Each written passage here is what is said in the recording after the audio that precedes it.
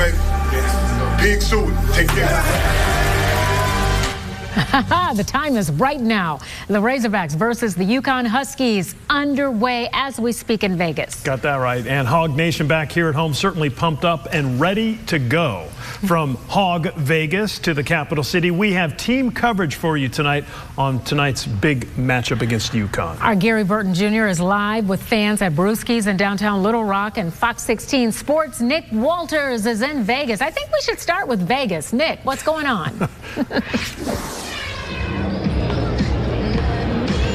Yeah. Guys, look, ever since we got back from Des Moines, we've talked about so many storylines. Devo, Ricky, adversity, and of course, beating number one Kansas. And eventually, you just got to go out and play some basketball. And that's exactly what Arkansas is doing right now behind me in T-Mobile Arena, playing four-seed UConn in the Sweet 16 and fighting for their third straight Elite Eight berth. Now, just about 15 or 30 minutes ago, this place right here was swarming with Hog fans. Now, it's a lot more Gonzaga Gonzaga and UCLA. However, we do have one special fan who is a part of the group with me right here, and his name is Brandon, a 1995 graduate of U of A. And Brandon, you're looking snazzy, my friend. You got better attire than me.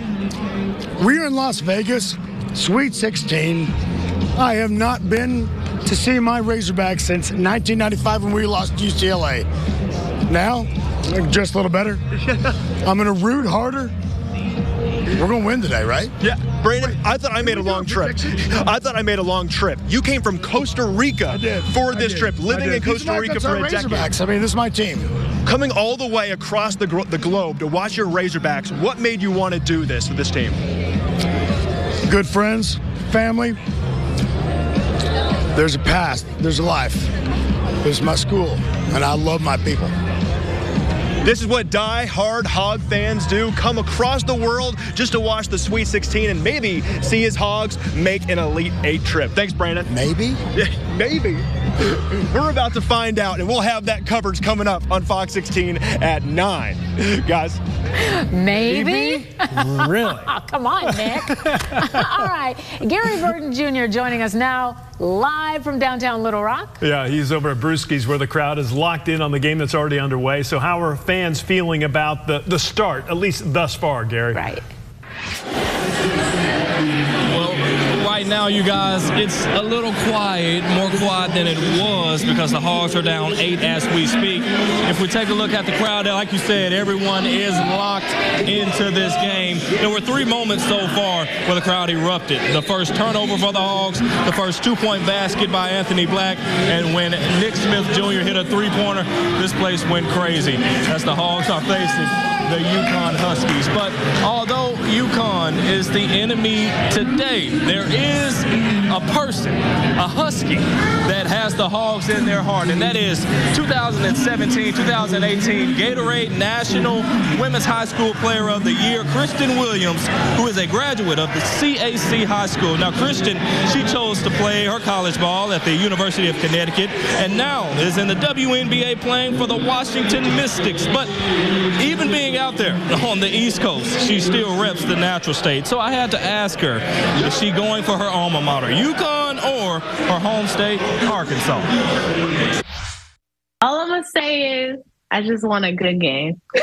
I'm going to keep it at that. I tried to wear neutral colors.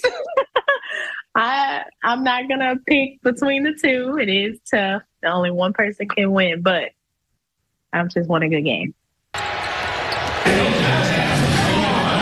Chris, you got to give us one. Now, she did get to play against the Hogs at Bud Walton in 2020, but sadly for her, the Hogs won. But she said it was a moment that she'll never forget. And the fans here at Brewski's, they're hoping for a moment that they'll never forget as they hope to watch the Hogs advance to their third straight Elite Eight. Live in Little Rock, Gary Bird Jr., Woo Pig. Woo Pig. Well, let me just say, Christyn, we want more than just a good game. We want to win. Yeah, she was in a tough spot there. she played true. it smart. yeah, she did, I guess. Yeah. Okay, so here's some Sweet 16 facts that you might want to consider. 12 of the 16 teams have never won a national championship. Of that, seven have never been to a Final Four. The last time Connecticut played in the Sweet 16 was 2014, and that year, they won the championship. No, that was that year. I know, right? Yeah. Tonight, by the way, is Arkansas's 14th visit to the Sweet 16. The Hogs are ranked eighth, as many of you know right now. The last time a number eight seed won was back in 1985. The winner back then was Villanova, so it's possible. And if you're wondering about if we will see Coach Musselman's shirtless celebration, that didn't happen when the Hogs made their last two trips to the Elite Eight, but all bets are off tonight. No question about that. Well, let me just say, I think he's going to do it. I mean, if, when we win, I almost said if, when we win, I bet he takes off his shirt. You and I could make a friendly wager. About him taking. off. yeah. Okay, just wanted to clarify yeah, that. right, right, right, right, right. Yeah. okay. Speaking of bets, there's a whole lot of betting going on tonight, and that means more money for the state's casinos. I finally get where Yeah, you were yeah, going with yeah, that. Yeah. we'll take a look at how sports betting and casino revenue are doing so far this year. I didn't mean you. Yeah.